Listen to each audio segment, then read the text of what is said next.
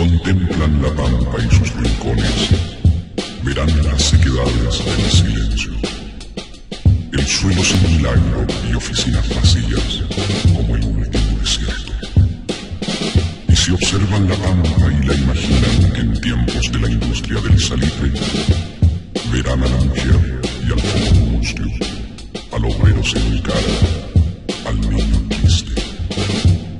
También verán la choza mortecina, la vela que alumbraba su carencia, algunas calaminas por paredes y por lecho los sacos y la tierra.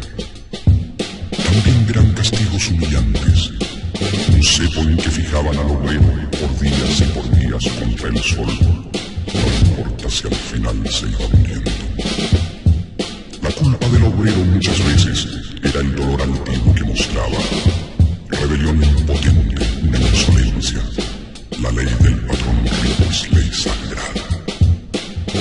También verán el pago que les daban, dinero no veían, solo fichas, una por cada día trabajado, y aquella era cambiada por comida. Cuidado con comprar en otras partes. De ninguna manera se podía, aunque las cosas fuesen más baratas. Lo había prohibido la oficina. El poder comprador de aquella ficha había ido bajando con el tiempo, pero el mismo jornal seguía pagando. Ni por nada del mundo un aumento.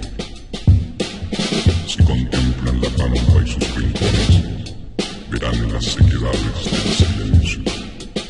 Y si observan la pampa